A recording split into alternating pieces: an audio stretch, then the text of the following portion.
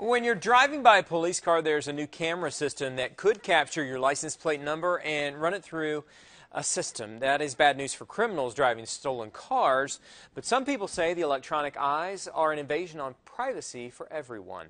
Funding for the new license plate readers was approved by the Oklahoma City Council just this morning. One councilman said there must be clear policies for data before the scanners hit the streets. When we put the system up and running, a, a very tight security system process to protect that, that, that data from being uh, mined by somebody. No time frame yet on when the equipment will be ready. The plate readers will be used by patrol officers and parking officers.